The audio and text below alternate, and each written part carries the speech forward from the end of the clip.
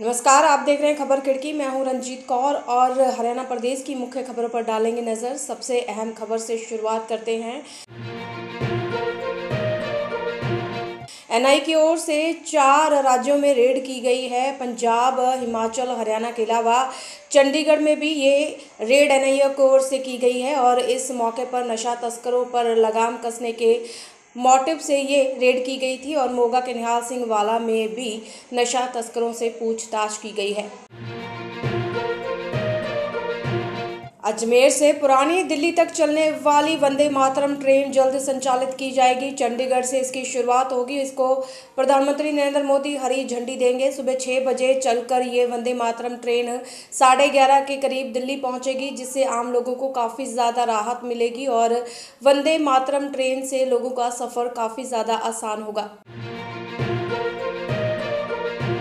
हरियाणा में 10 लोकसभा सीटों पर बीजेपी ने चुनाव लड़ने का ऐलान किया था, पर ब्रजेंद्र सिंह की वापसी के बाद अब समीकरण बदले हुए नज़र आ रहे हैं। बताया जा रहा है कि जेजेपी महेंद्रगढ़ के अलावा एक और जगह से चुन लड़ना चाहती है, जिस विचार विमर्श के बाद अगला फैसला लिया जाएगा, रणनीति तय की जाएगी। पूर्व भाजपा सांसद ब्रजेंद्र सिंह के कांग्रेस में शामिल होने पर मनोलाल खट्टर ने बयान दिया है। उन्होंने कहा कि कोई आता है तो चला भी जाता है, कोई सोच समझकर आता है और फिर चला जाता है तो उस पर कोई भी आपत्ति नहीं है। गैंगस्टर काला जठेरी और लेडी गैंगस्टर अनुराधा की शादी होने वाली है। इसको लेकर हरियाणा पुलिस पूरी तरह से चौकस है। चप्पे चप्पे पर पुलिस तैनात कर दी गई है और बैंकेट हॉल को पूरी तरह से तैयार कर दिया गया है। इसके साथ ही ड्रोन के ज़रिए पूरी शादी पर नज़र रखी जाएगी और पूरी दुनिया की नज़र इस शादी पर टिकी हुई है। हरियाणा के फतेहबाद में मुआवजे और अपनी और मांगों को लेकर किसानों की ओर से मंत्री के घर के बाद ही अपना मांग पत्र चिपका दिया गया, जिसके बाद लगातार किसानों की ओर से चेतावनी दी गई है कि अगर उनकी मांगे नहीं मानी गई तो वो इस आंदोलन को और तेज करेंगे और सरकार के खिलाफ अपना रोष व्यक्त करेंगे। राज्य सतर्कता ब्यूरो की ओर से एक अधिकारी को रिश्वत के चालीस हज़ार के साथ गिरफ़्तार किया गया। अंतर्राज्य शादी के मामले में इस अधिकारी ने युवक से पैसे मांगे थे और बता दें कि युवक ने अपनी फ़ाइल भी जमा करवा दी थी, पर इसके बावजूद अधिकारी पैसे उसके खाते में नहीं डाल रहे थे उससे रिश्वत की मांग कर रहे थे।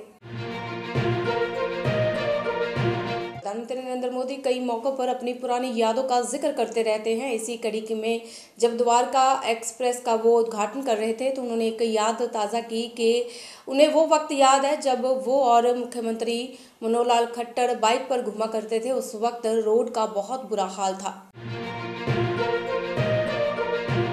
करनाल में राजपूत समाज की ओर से एक मीटिंग की गई और अपनी मौजूदगी दर्ज करवाने के लिए सरकार से खास मांग की गई।